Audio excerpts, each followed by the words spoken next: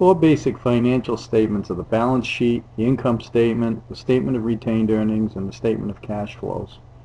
This is all Chapter 1 material from our textbook, Financial Accounting, by Robert Libby, Patricia Libby, and Daniel Short. This is for ACT to 11, uh, Principles of Accounting.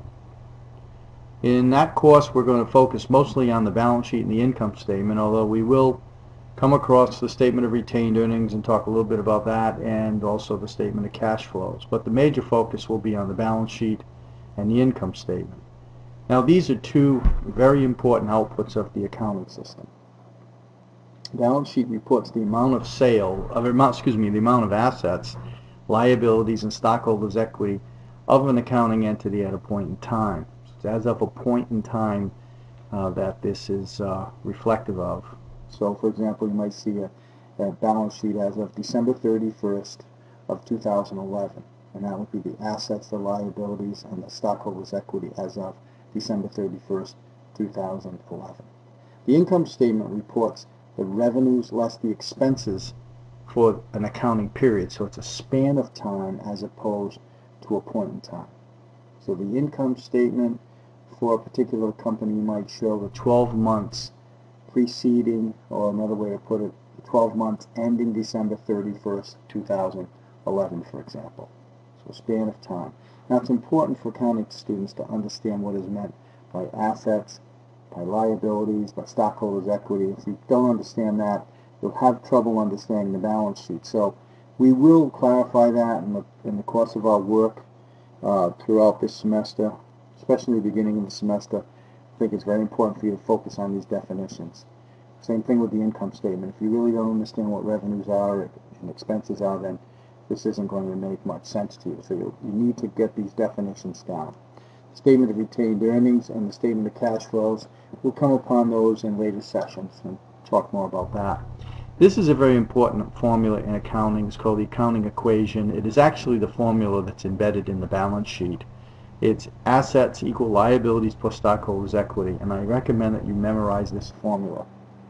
So now, uh, think of it as that the assets are the economic resources that are owned by the business, the liabilities are the amounts owed and the various obligations of the business, and the stockholders' equity is basically the investment that the stockholders, the owners, have made in the business.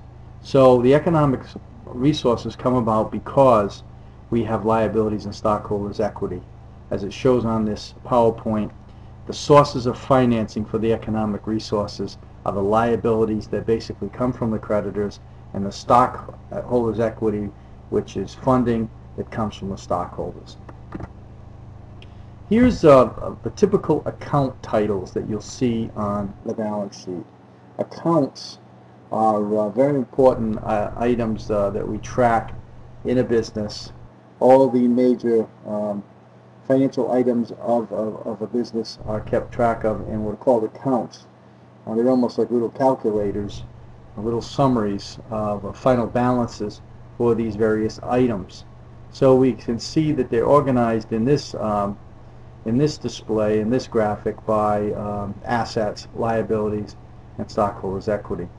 I'm not going to go down this entire list right now, but this is a very good list. This could be like a master list for you to use to um, maybe do your own research into what each of these uh, titles represent. Make sure you understand what is meant by cash, what is meant by short-term investment, what is meant by accounts receivable, uh, and so on and so forth. Write down a list. You could use it as a checklist. You should develop an understanding of what each one of these items is. Now we're going to come across these different items, these different assets, these various liabilities, these kinds of stockholders' equity accounts when we work through our problems, when we work through our solution, uh, the solutions to the end of chapter exercises and problems. We're going to see these terms used in the various narratives that we read and in the, in the paragraphs and the word problems that we come upon we're trying to solve our exercises and our problems. So it's very important to develop this kind of vocabulary to have a clear understanding of what, what every one of these items means. I don't necessarily think you have to memorize these definitions, but you certainly should have a sense. So for example, if I say we're talking about inventory, you should know that that specifically means that it is merchandise or it is finished goods that a particular uh, company has that they are selling. So these items to be sold. Whereas supplies, it's different. Supplies are not inventory. Supplies are to be used in the course of doing our business, in producing things and getting our work done, but we don't sell supplies. Certainly a company like Staples Office Supplies, they sell supplies, but when I, that, that's the exception. A regular business like General Motors does not sell office supplies or other types of supplies, so to speak. They sell automobiles. Automobiles are their inventory, but certainly General Motors uses supplies. So you have to know the difference. Equipment is different from buildings, and buildings is different from land, and intangibles is quite different from anything that's tangible, like equipment, buildings, and land. So you must know the distinctions. You must have this clear thinking and develop this business accounting and finance vocabulary. On the liability side, we see the term payable used a number of times. Accounts payable, notes payable, taxes payable, bonds payable. Anytime you see that word payable, let that remind you that these these are amounts that are owed to someone. So, for example, accounts payable is money that is owed to the vendors and the suppliers that the company utilizes. And notes payable, a note is a loan, and so that is a loan that is owed. And taxes, you know what taxes are. Taxes payable taxes that are owed. Income taxes, real estate taxes, uh, eh, sales taxes, any kind of tax that is owed to a government agency is uh, payable. Bonds payable. Bonds are another type of long term, they're like a long-term debt or long-term loan. So you should understand what all these items are. Unearned revenue will come upon in one of our chapters, and accrued expenses are very, very common.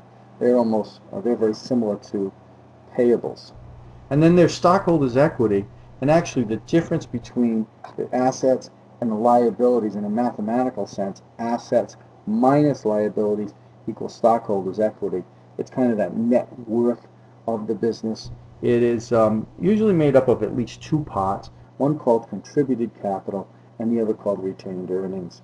Contributed capital is money that the owners have contributed, have given to the business to fund it, to get it up and running, and to help it to continue its operations.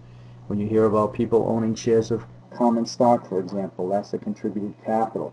Retained earnings, on the other hand, is uh, a type of um, uh, equity. It is money that is kept in the business from the earnings, from the profits, from the wealth that is being created as a result of doing business. Here's an example of a balance sheet. You see up at the top right-hand corner of this graphic, there is a um, little, uh, uh, you know, the formula is shown there, the, the balance sheet formula. The assets are equal to liabilities plus equity. And then we see the format of this company's uh, called Maxi Drive Corporation's balance sheet as of December 31st, 2010. I want to call your attention to those titles there. It's very important to note sort of the anatomy of this report, that the name of the company is listed right at the top so we know what entity this is. This is the Maxi Drive Corp balance sheet. It's not John Smith's balance sheet or Mary Jones's balance sheet or the uh, ABC company or whatever. It's specifically the balance sheet of this entity Maxi Drive Corp, and it must be noted. It must be shown there so that we know that. And that the type of report it is, it's called the balance sheet. So that's the title of this report. And that means something. You know, when I see balance sheet, I immediately think of the balance sheet formula. I immediately know what is going to be revealed here. The kinds of thoughts that run through my mind are things like I'm going to see the financial position of this company. I'm going to see what they own. I'm going to see what they owe. I'm going to see what their wealth is, their net wealth is as far as this entity is concerned. So we see um, this is in thousands of dollars as of December 31st of 2010. Again, that point in time, that idea of a snapshot. And uh, we see that this company has total assets of $27,261,000. It looks like it's 27,261, but it's not. It's 27 million because it's in thousands of dollars, and therefore you must remember to add three zeros to the end of that number. So it's 27 comma 261 comma 000 in reality, which is 27 million. That's what the total assets are, and it's made up of cash and accounts receivable and inventory and plant equipment and land. And that's totaled up, and 27 to 61 in thousands of dollars is the answer there. And then the liabilities are made up of two pots, accounts payable and notes payable, and the total liabilities of 16,156. Uh, excuse me, 16,156,000. Again, I, you got to remind yourself to add those three zeros to the end of it when you talk about these numbers. And you can see that the total assets are greater than the total liabilities, which means that there is equity here. There is a residual amount sort of left over after you deduct out the liabilities. And if you, your eyes can go down below here, you'll see that the total equity is eleven thousand, eleven million one hundred and five thousand dollars. So that's that's really the net amount of, um, of worth, net worth of the company. And the equity is made up of two pots.